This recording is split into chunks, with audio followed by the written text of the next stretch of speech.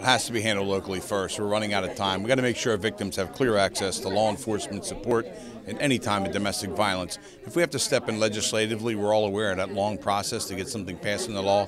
What our real goal is here is to get Norristown back to the table. Let's change this ordinance for a third time. Let's all work together. Let's get it right so that we can get rid of the thugs in the town and our rental properties, but yet we still protect the rights of our victims and give them the access to law enforcement that they absolutely deserve.